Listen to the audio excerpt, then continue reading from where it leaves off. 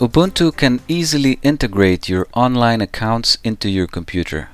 When connecting to an online account with Ubuntu, you will be able to do many things you do on a browser without having to open a browser. This is useful to integrate chat accounts into your desktop, share photos, access online calendars, email, contacts, social networks, and other online resources that you might use on a daily basis.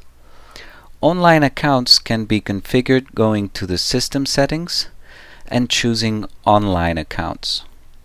There you can see the online accounts that are currently available on Ubuntu.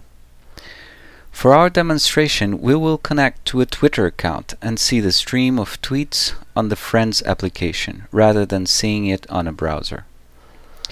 You will need to be subscribed to an online account like Twitter, Facebook or Google before you can configure your online account.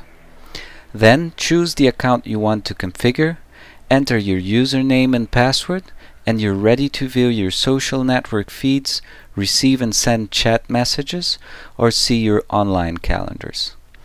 Note that once you configure an online account, a new envelope menu will appear at the top right hand side of your screen.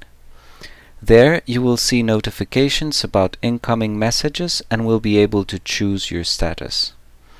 The online accounts will be available on the programs that manage such accounts. Social network streams will be displayed on the Friends application. Chats will appear on Empathy and photos will connect to Shotwell.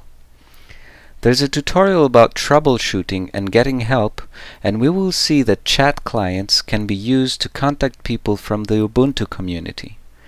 There are many chat rooms for Ubuntu, including a beginner's room where you can ask questions and receive an instant reply from another connected user.